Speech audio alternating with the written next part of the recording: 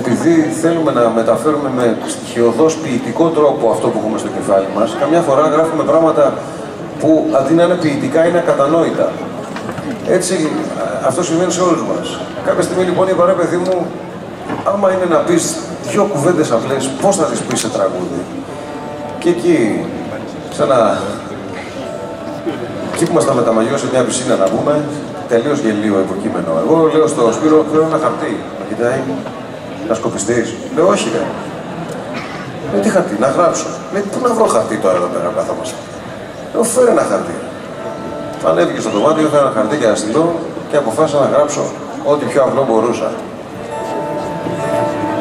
Έλα να πούμε δυο λόγια απλά κι αν θέλεις κι άλλα τόσα από εκείνα που εξηγεί μόνο η δική μας γλώσσα.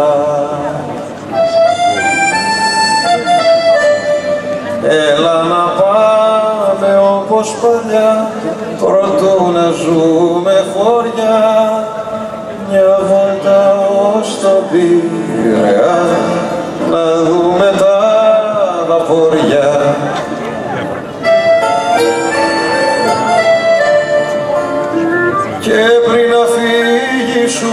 ζητώ την τελευταία χάρη. Κάνε μου εσύ το ξωτικό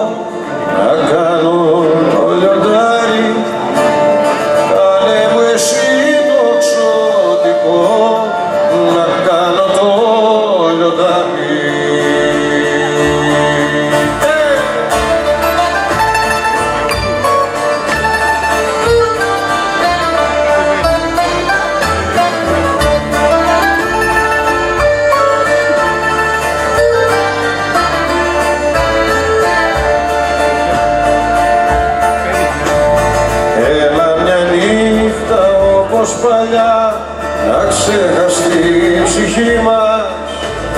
Δώσ' μου και μια αγκαλιά, μια αγκαλιά δική μας. Μόνο με το ένα χέρι μου βαστάω το τιμόνι. Σου έχω κρασί στην πιπεριά μπαλκόνι. Και πριν να φύγεις σου ζητώ την τελευταία χάρη